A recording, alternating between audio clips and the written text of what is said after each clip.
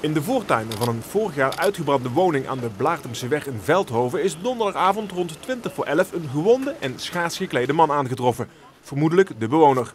De politie heeft de 32-jarige geboeid afgevoerd naar een ziekenhuis. Bij de hulpdiensten kwamen donderdagavond diverse paniektelefoontjes binnen. Toen politie en ambulance arriveerden, troffen zij de man in de voortuin aan. Hij reageerde in eerste instantie niet, maar toen agenten hem wilden vastpakken, werd de 32-jarige agressief en begon hij te vechten. De politie gebruikte pepperspray en handboeien om hem rustig te krijgen, zodat ambulancebroeders hem konden behandelen. Na het toedienen van een rustgevend middel kon de man naar het ziekenhuis worden overgebracht. Onderzoek wees later die nacht uit dat er geen sprake was van een misdrijf, al dus de politie.